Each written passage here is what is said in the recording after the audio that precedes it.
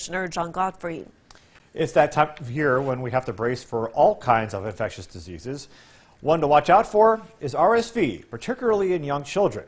Doctors are urging us to take extra precaution. The respiratory illness looks like the common cold, but it could bring with it dire consequences if proper care isn't taken. Symptoms of RSV include a runny nose, decrease in appetite, coughing, as well as sneezing, a fever, and wheezing. RSV could affect anyone, but it can be found mostly in babies and toddlers below the age of two. Sanford Health pediatrician Dr. Evan Rogler says while most kids get better on their own, it could also require serious medical treatment.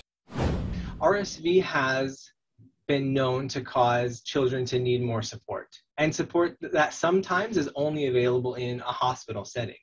So when someone is infected with RSV, we just perk up a little bit. We pay more attention, knowing that this child, now infected with RSV, could go from pretty good right now to not so great in a, in a relatively short period of time.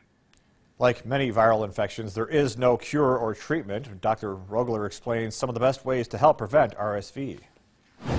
The number one answer is always hand washing, especially in children because they play, they put their hands in their mouth. They eat, they put their hands in their mouth and then they're sharing all those germs with their friends and their family members. It also lives on surfaces, this virus, and so we can do our best to clean those surfaces regularly, make sure the doorknobs and tables and floors are clean. Unchecked RSV infections could result in chronic respiratory illnesses like asthma in children. Rogler says the best way to tell if your child has RSV or not is to have them seen by a doctor or health practitioner.